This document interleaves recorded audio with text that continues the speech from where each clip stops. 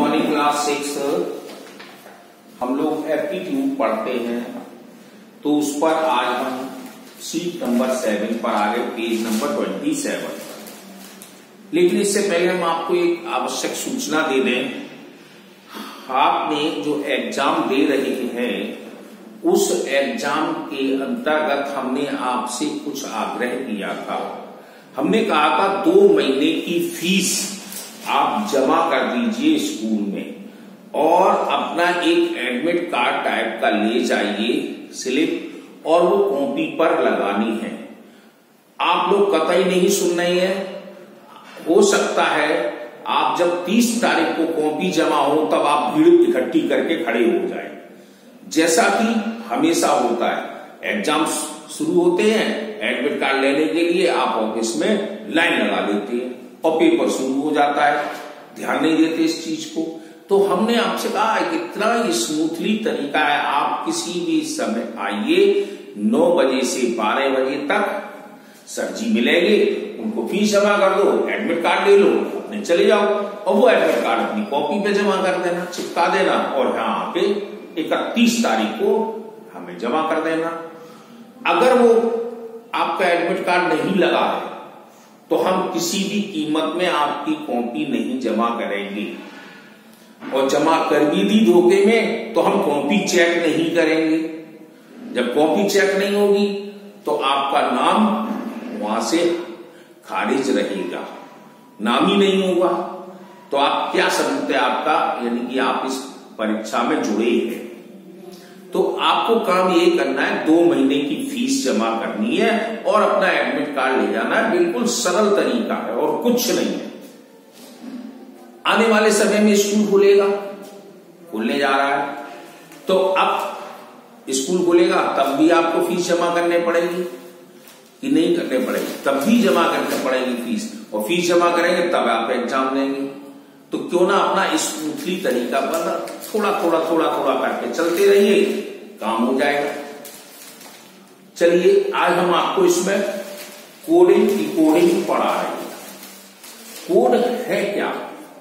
Code एक number है, जैसे आपके मकान का नंबर होता है, दूसरे के मकान का नंबर तीसरे के मकान का नंबर या मोबाइल नंबर तो मोबाइल नंबर को भी कोड कहा गया है।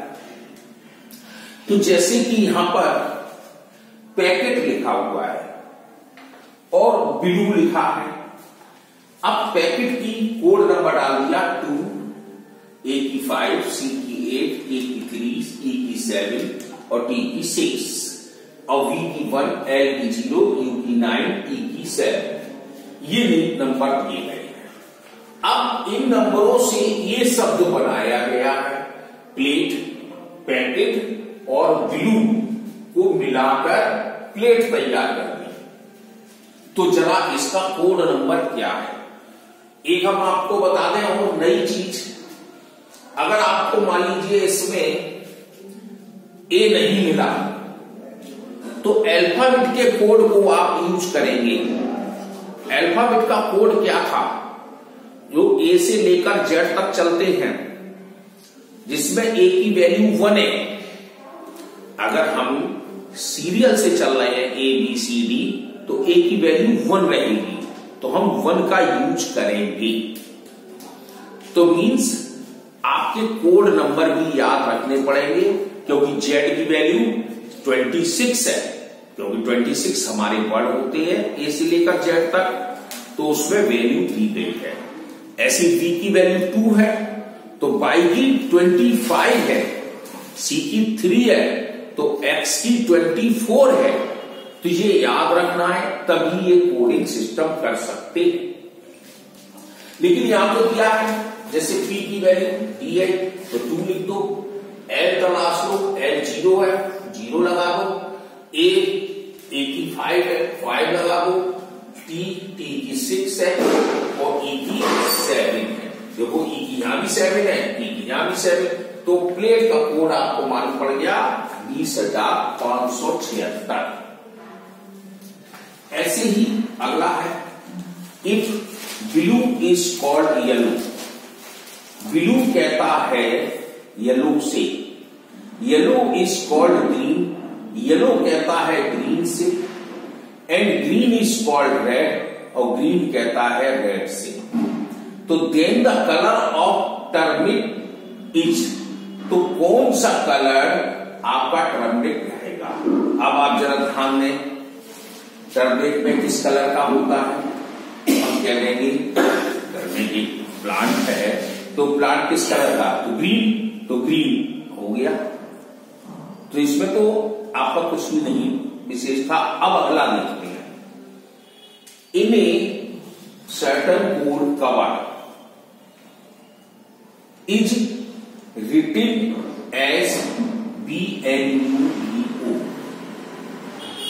then the same code number अब नंबर का आपको बनाना होगा। अब जैसे देखो। सी O B E R E का बटा बना रहे तो बी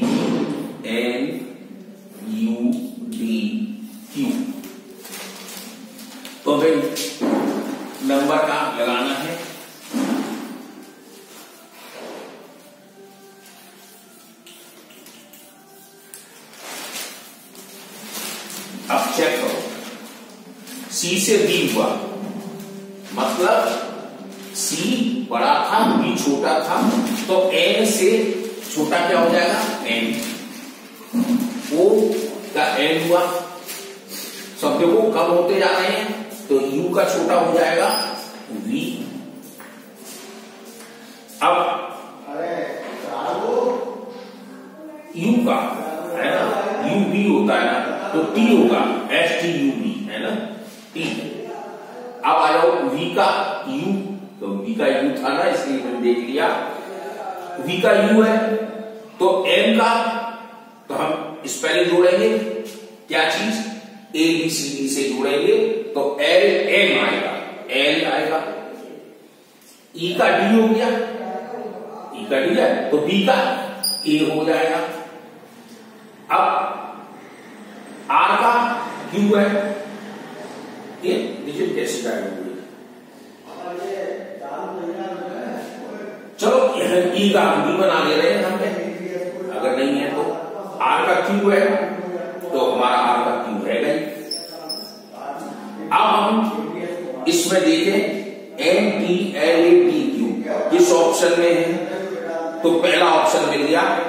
तो पहले हम लिख देंगे M T L A T एक इसका नंबर नहीं था तो कोई बात नहीं, आप इसके बिफोर नंबर पे चलते चले जाएँगे। चौथा है, एक ए डॉग मीन से लॉन एक कुत्ता, एक शेर बन सकता है। एक मैन ए लॉइन मीन से डियर एक शेर हिरन बन सकता है। तो ए डियर मीन से रैबिट एक हिरन खरगोश बन सकता है। तो then the king of the jungle अब देखो, यहाँ पर कुछ थोड़ा सा पजल्स है तो पजल्स हम आपको क्लियर करें।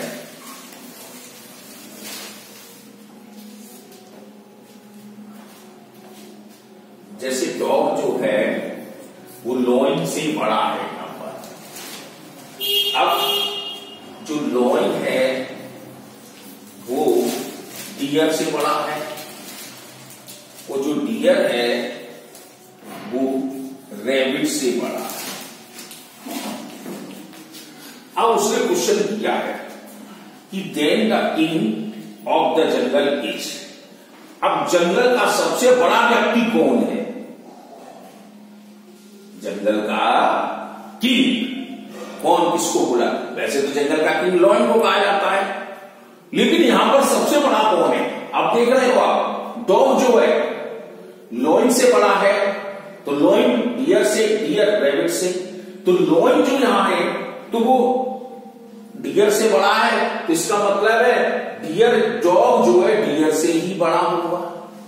और डियर जो रेबिट से बड़ा है इसका मतलब है डॉग जो है, वो रेबिट से ही बड़ा होगा। तो बड़ा व्यक्ति कौन है? तो डॉग ही रहा। तो हम डॉग को मार्क कर देंगे। ऐसे ही in certain earth earth is written F B S U L जैसा अभी हमने देखो लिखा दिखाया था। अब हम्म। अब इसका एफ़ बना दिया। बी एस शर्ट का पूछा है उसने, कोई बात नहीं। देखो एफ़ ई का एफ़ हो गया ए का बी आर का एस टी का यू एच एल तो सब बात के नंबर है। तो एस के बाद क्या आएगा? टी एच के बाद आई आई के बाद जे आर के बाद एस और टी के बाद टी तो T I J S U देखो, आपके पास कहीं है इसमें? तो हम देखते हैं T I J S U B वाला ऑप्शन है तो बी वाले पे हम टिक लगा देंगे। हम इसके अकॉर्डिंग चलेंगे। अगला है if a nose is called head nose क्या कहती है? सिर से है ना? Head is called leg head किससे कहता है? पैर से। Leg is called eye leg किससे कहता है? आँखों से। And eye is called toe और आप किससे कहते हैं? पैर की तकनीक मतलब जो फैली होती है, उसको टॉय को नीचे के पहिए पैर को। देन वी सी ऑब्जेक्ट में। तो हमने सभी ऑब्जेक्टों को देखा। तो हम देख के बताएँगे क्या है। तो हम टॉय पे लगा नहीं क्योंकि सबसे नीचे का पंजा ही बेसमेंट है बॉडी का। ये सब बॉडी बेकार है। जब पैर नहीं है तो कहाँ खड़े होंगे? तो मीन्स यहाँ पर के लिए आया। तो इस तरह से आप कोडिंग डिकोडिंग करते रहेंगे और पढ़ते रहिए।